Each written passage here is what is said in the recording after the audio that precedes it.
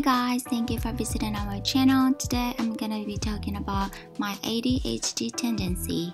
Am I ashamed of it? No, that's one of my adorable uniquenesses. 今日は私の ADHD tendency についてお話ししたいと思います。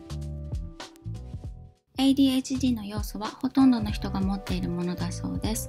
それが強いか弱いか、日常生活の中で支障をきたすほどかそうでないかで病院へ受診するかは人それぞれだと思います。ADHD の特徴としてよく挙げられる何かをしている途中で他のことに気が移りまた別のことを始めようとする。物事の順序立てが苦手なため予定に遅刻することが多い。落ち着いてじっと座っていることができない。物をどこかに置き忘れたりしょっちゅう探し物をしている。これらは私も自分で自覚していて彼からも完全に私であると太鼓判をもらいました。日常に少しは支障をきたしているかもしれないけど病院で受診したことはないですし私はこれは一つの可愛らしい個性だと自分で捉えています。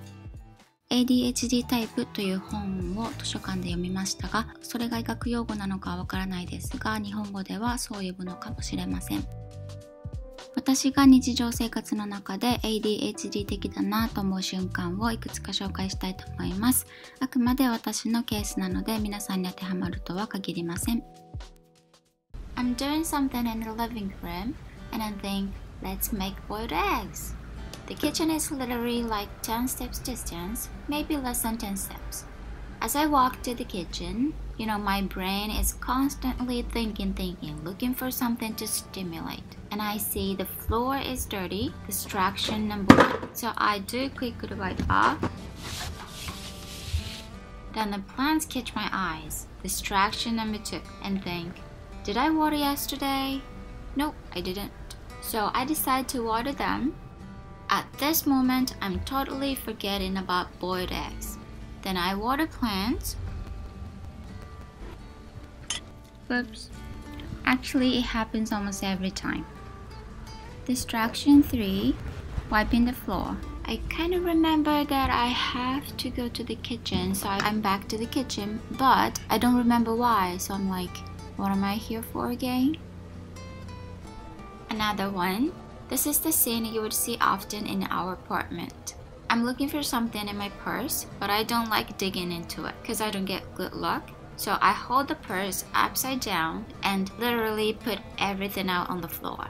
That's what's happening here. Here's another one. When I pay at the cashier and I have lots of coins, right? I don't know what it is, but I don't want to count in my wallet. So again, I put all the coins out on the dish, the thing you put money on. I don't know what's the name for it. I just put out everything that I have on the dish and count in front of cashier. Or, you know, these days there are machines at the cashier. Instead of star clocks, you just pay by yourself. I don't count before I put coins. I just put everything that I have. Just dump in the machine and it will get changed later. Does anyone do that?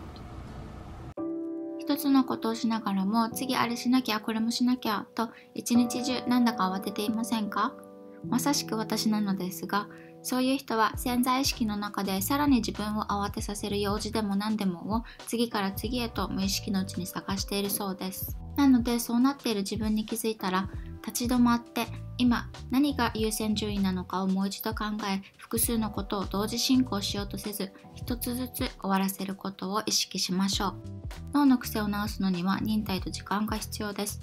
すぐに治る癖なんてありません。まず気づくことが大切です。気づいただけでもまずすごいのです。全てバランスだと思います。可愛い個性っていうくらいだったらいいと思うんですけどもしそれが生活や仕事に支障をきたしていたり周りに迷惑をかけているなと気づいたら自分なりの工夫をしなければなりません。この動画でも似たようなお話をしていますが今のところ私に一番合う効果的な対策法は一つ一つやるです。時間が少しかかるかもしれませんが全てのタスクをちゃんとこなすにはこれが一番です。他に本で読んだ面白かった予防対策法です。最短時間でいけると思わない。隙間時間に予定を詰め込まない。遅刻しない自分に自信を持つ。その他にもミニマリズムをおすすめします。物質的に身の回りのものを必要最低限のものに抑えることで自分の行動をミニマムに抑えることにつながります。心と脳を鎮める瞑想やヨガもおすすめです。ADHD タイプは脳内の神経伝達物質ドーパミンの量がアンバランスなために感情や行動をうまくコントロールできないとも言われているそうです。突然エンジンがかかったように掃除を始めたりやりたいと思いついた瞬間にそれをしないと気が済まない衝動に駆られる。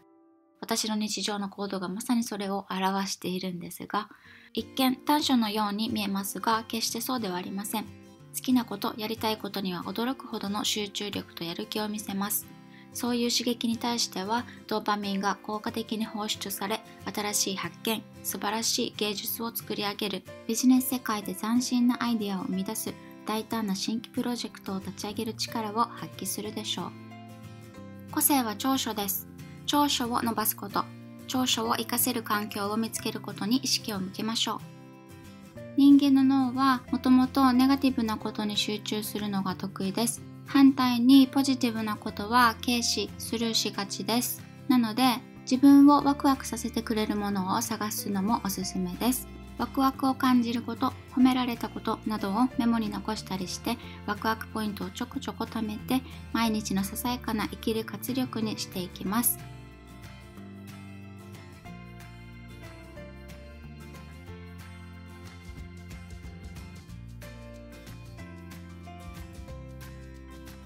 今日も見ていただきありがとうございました。Thank you so much for watching. Have a nice day. Bye.